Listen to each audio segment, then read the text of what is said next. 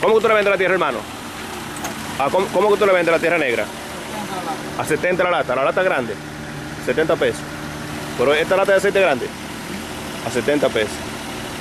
Ok, no era para ver, pasate una promoción ahí. Tierra negra 70 pesos, ¿verdad?